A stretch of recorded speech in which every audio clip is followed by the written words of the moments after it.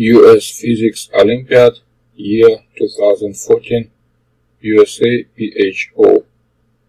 Final exam. Problem B2.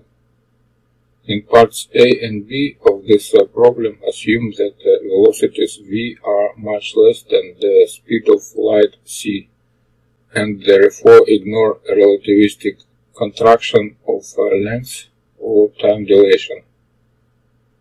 Part A An infinite uniform sheet has a surface charge density sigma and has an infinitesimal thickness. The sheet lies uh, in the xy plane. Question 1.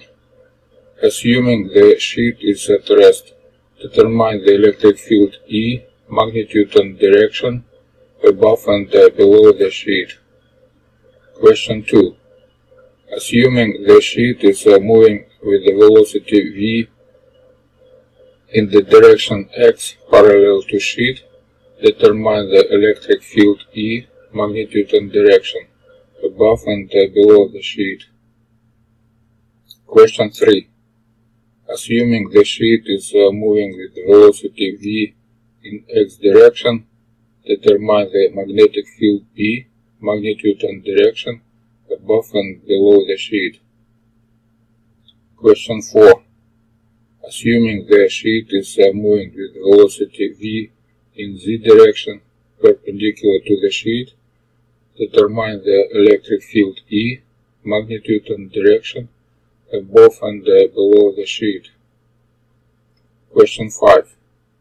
Assuming the sheet is moving with velocity v in z direction, determine the magnetic field B, magnitude and direction above and below the sheet.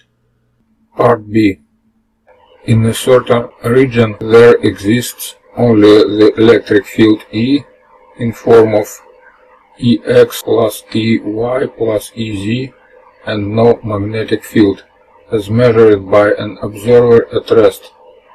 The electric and magnetic fields E' prime and B' prime as measured by observers in motion can be determined entirely from the local value of E regardless of the charge configuration that may have uh, produced it. Question 1. What would be the observer electric field E as measured by an observer moving with velocity v in direction z? Question 2. What would be the observed magnetic field B as measured by an observer moving with the velocity v in direction z? Part C.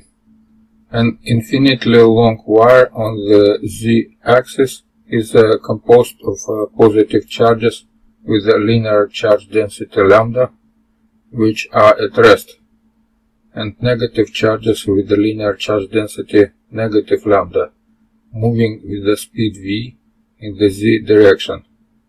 Question 1. Determine the electric field E, magnitude and direction at points outside the wire.